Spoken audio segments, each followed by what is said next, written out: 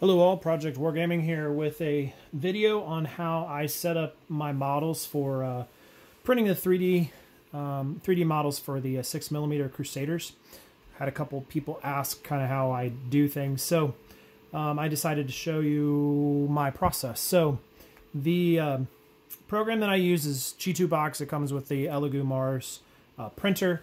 Uh, you can see I've already kind of gotten uh, a couple of the rows there. I got a couple of the um, command stands that I'm printing off as well.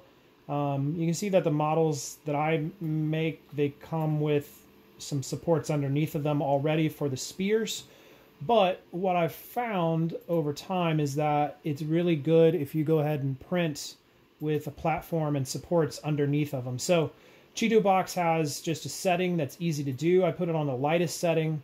Uh, I take the density, which is the number of uh, supports down to about 25%, 26%. And then I, uh, the contact diameter, I reduce down just a little bit as well. Um, sometimes ChiTuBox decides to add in a couple extra supports uh, in there, which I don't think are necessary. I've never printed them with them. So all I do is delete those. And then I go back to the uh, normal and all I do is duplicate this a number of times that I want. So, and then what I do is I line them up and actually connect them together in ChiTuBox so that when they print off, they're actually printing off in strips. So I find it's really easy to kind of get off the uh, print plate when you do it this way.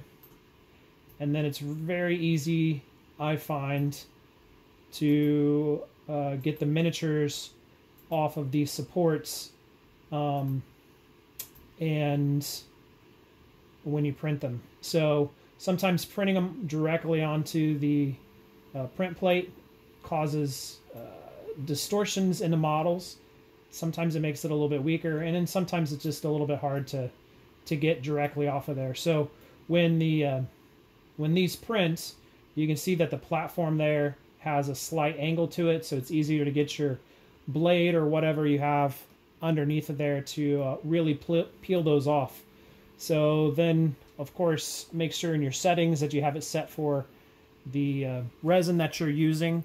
And all I do is slice it up and then save it to a thumb drive. And of course, then I take it over to my uh, ChiTu or my, my Elegoo Mars um, thing. So uh, let's see if I can show you show you what I got here.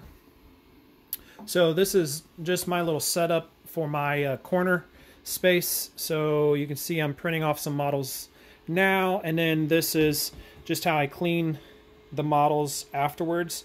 So that is just kind of the dirty container. So that's kind of the first wash. It's got 99% uh, alcohol in it. And then this is kind of the uh, clean one and that uh, gets it a little bit more pristine. And then you can see I just got like a little cheap box down here that I have uh, made. It's got the UV uh, light in there and I just uh, have a piece of uh, board underneath of there that has the just aluminum foil on it. So it seems to work pretty well.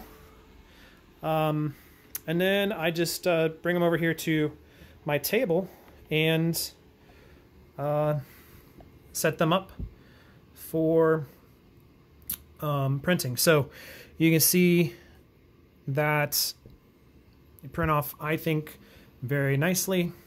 Um, print off in rows, and then it's really easy to paint.